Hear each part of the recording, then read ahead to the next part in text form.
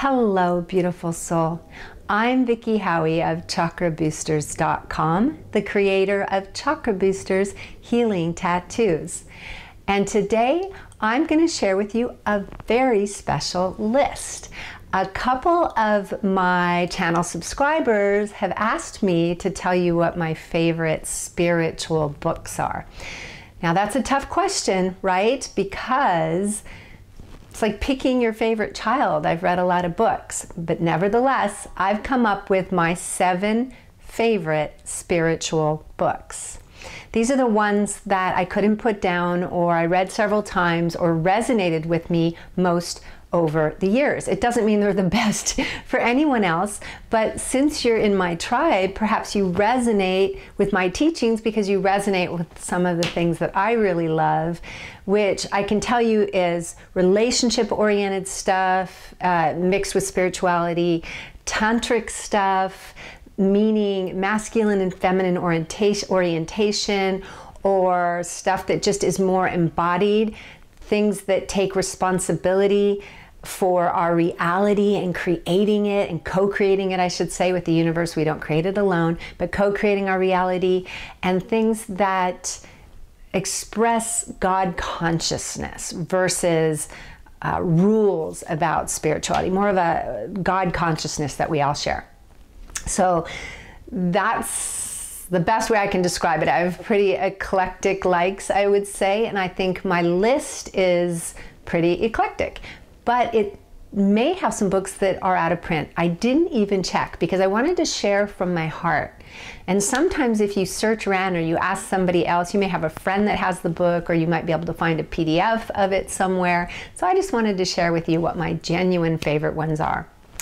I'm sure my memories allowed me to lose one or two, so these are my favorite seven at this time, but they go all the way back to at least my teenage years. One of them goes way back to when I was a teenager.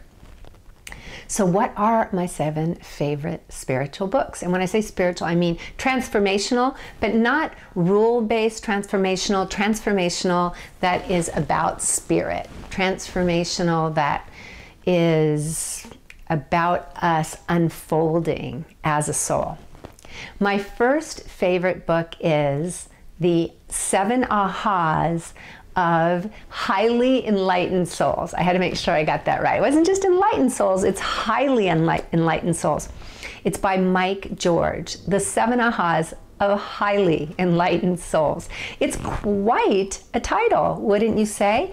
And it really lives up to it. The reason is it's a tiny little pocket book that you can keep women in your purse or men maybe you carry uh, some kind of pouch or purse as well but you can keep it with you really easily it's very easy to read i don't know how mike does it but he just sums everything up in such a great way. And of course, it's got my favorite number seven, the seven ahas. And it just feels like it's one of the most concise and deep books at the same time. So, out of all these books, it is by far the smallest and the shortest, and yet it goes super duper deep. So, that's number one the seven ahas of highly enlightened souls. So grab it because I know you're a highly enlightened soul in the making, if not feeling it right this moment. So you're just waiting to read and have those ahas. Number two, these aren't necessarily in order, right? This this book is so near and dear to my heart. It's by Debbie Ford and it's called The Dark Side of the Light Chasers and I'm going to read the subtitle cuz it's long. Reclaiming your power, creativity, brilliance and dreams. The key here is the dark side of the light chasers. Now that's a mouthful of a title, but this was Debbie Ford's first book about shadow, and she was such a pioneer for me of embodied shadow work, which I love, love, love. I think it's the one area, and uh, let me just finish that. I think it's the one area that we are missing so often in the spiritual transformational world right now. Shadow is the cornerstone of embodiment. If we are God and we have all qualities as slices of the divine, we have everything in us, then if we walk around trying to be certain things, light things, but not dark things, or if we put ourselves down and we grew up in an environment where we can't embrace the light in us and the, the good qualities, either side, if we don't embrace, we're not walking around in our wholeness, which means we're blocking certain chakras. We're not walking around in all of us. When we unblock all of our chakras and we are all that we came into this world, like when we're a little baby, then we are simply whole right? We're whole. So, shadow work is a beautiful way to get back to wholeness. And Debbie Ford's book, this is her first. She follows it by several other books, but this is my favorite because it's the deepest. And for me, it's kind of the intro book, but a deep intro book. Whereas the following books for me just didn't resonate quite as deeply. This one was the one that I just fell in love with. I still recommend it to friends. I still have dog eared copies of it. so, if you're interested in shadow work, Debbie Ford's book, The Dark Side of the Light Chasers, will be yummy for you.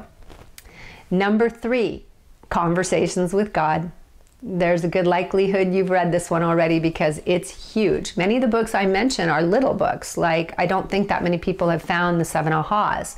And many people probably know about Debbie Ford, but haven't read her earliest book, The Dark Side of the Light Chasers, which is my favorite.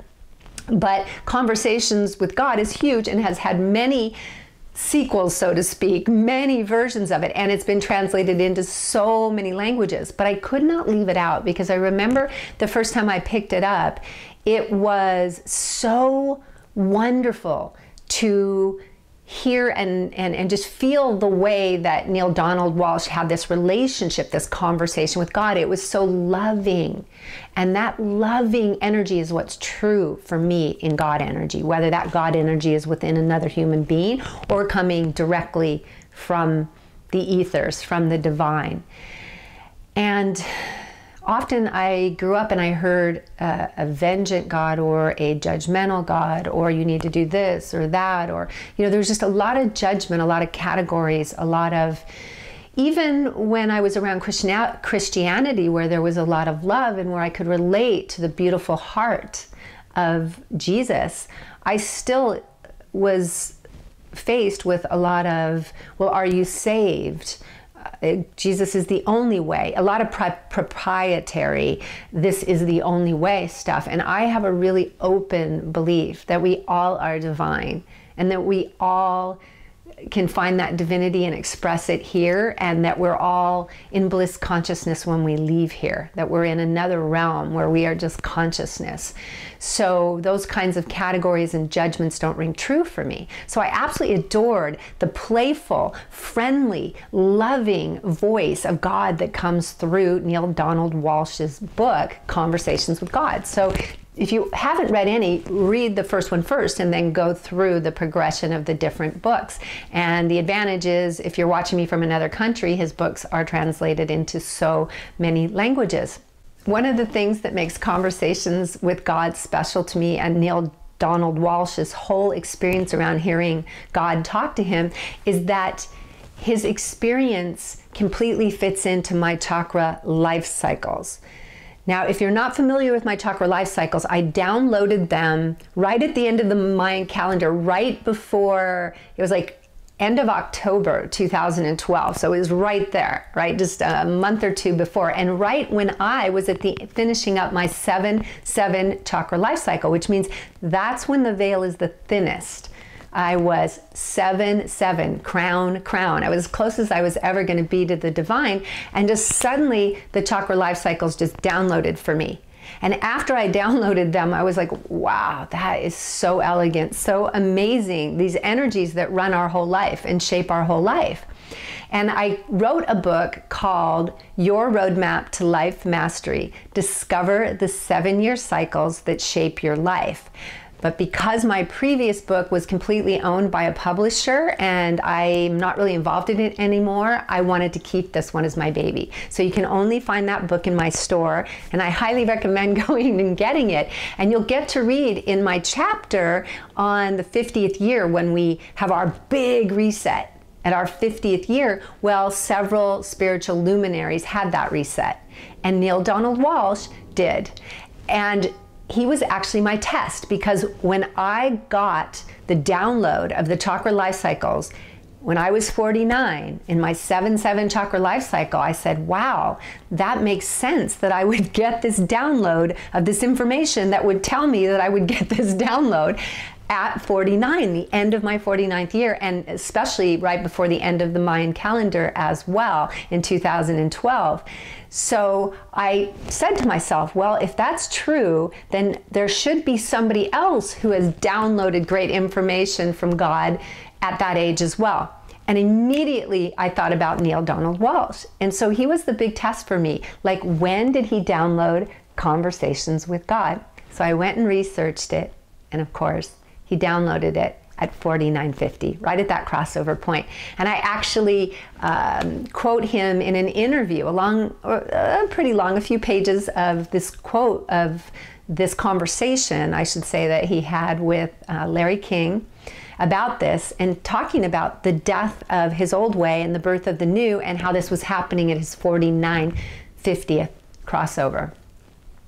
So if you want to see that, go get my book, Roadmap, to find out about Neale Donald Walsch's download of Conversations with God. But I also recommend his series, of course, the Conversation Conversations with God series. Number four. This is a relationship book, but it is a deep, beautiful, um, symbolic, uh, shadow oriented. It's not your typical how to do this, do that. It's deep healing, using your relationship for deep healing. And it is. Love and Awakening Discover the Sacred Path of Intimate Relationship by John Welwood.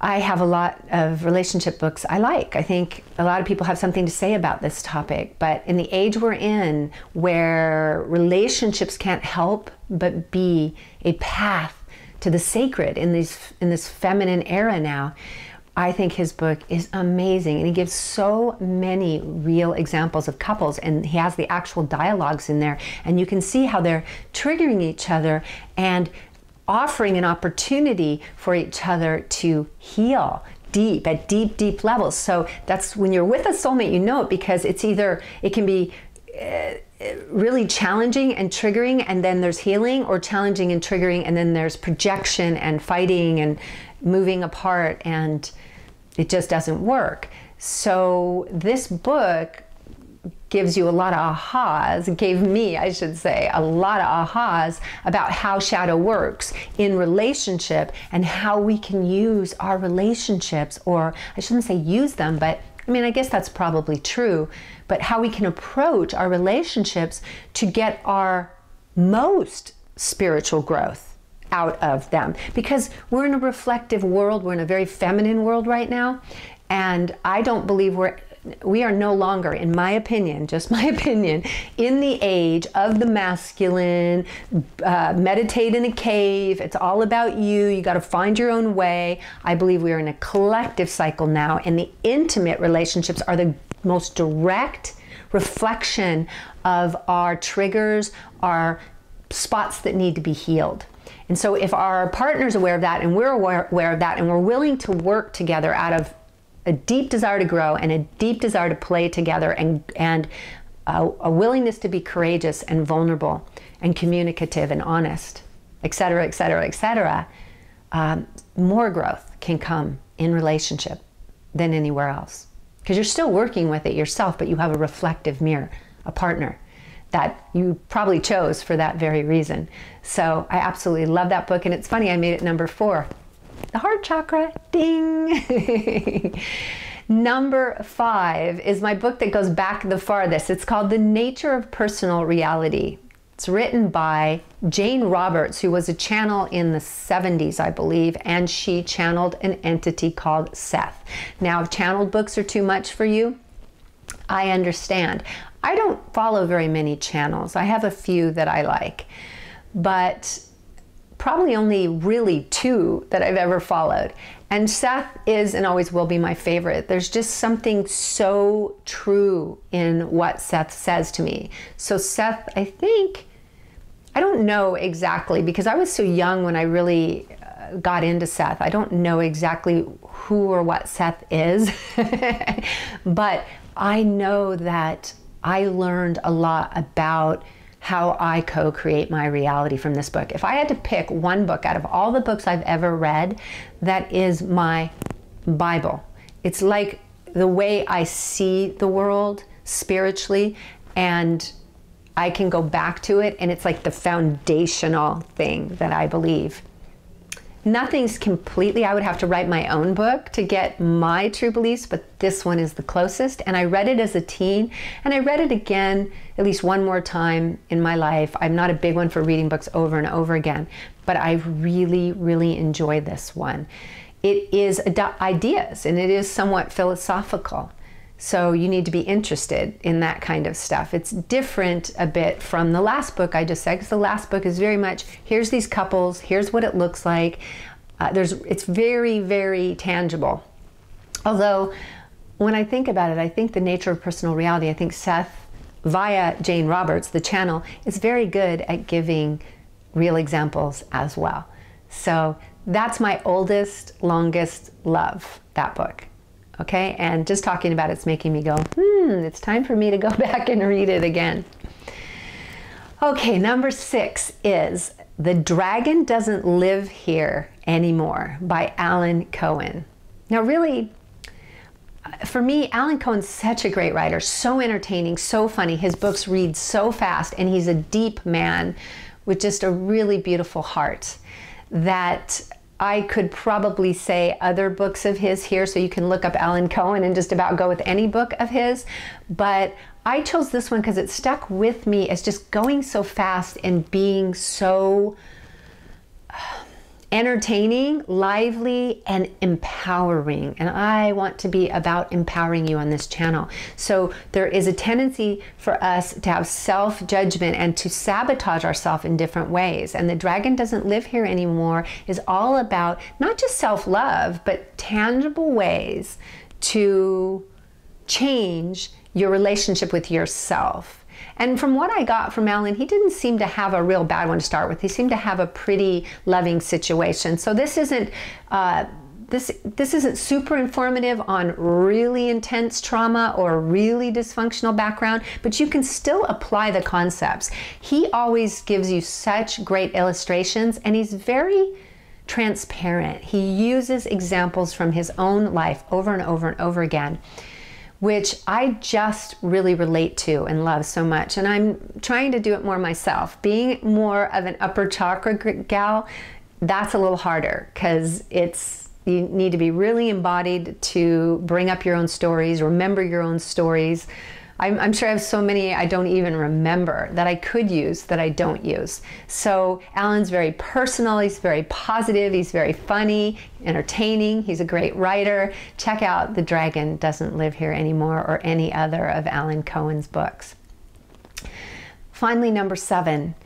All the books I've said so far are pretty much non fiction how to's. This next book is non fiction philosophical biography of a slice of life, and it's called Man's Search for Meaning by Viktor Frankl. It's pretty famous. It was written in 1946, so you've probably heard of it. If you haven't, I'm giving you a gem. This book has no how to's in it. It's not guiding you like a teacher. Instead, Viktor Frankl is telling you about how he spiritually survived living in a Nazi camp during World War II and watching his Jewish beloveds, his friends and family, being killed and tortured around him, and how he kept the flame of his own belief in himself and humanity alive within him. And I'm getting chills and I'm about to cry just talking about it. Here we go, guys. This is the empathic part of me. This is a collective wound. This is a huge collective wound. So if you have not read this book, this is a book every human being on this planet right now needs to read.